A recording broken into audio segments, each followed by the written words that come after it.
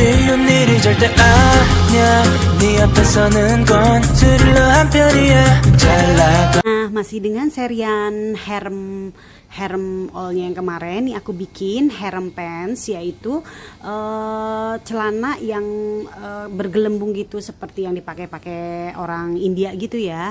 Nah, ini untuk orang yang punya panggul besar ini untuk menutupi kekurangannya. Jadi kalian tidak terlalu terlihat besar dan eh, model bawahnya itu seperti pensil mengecil ya.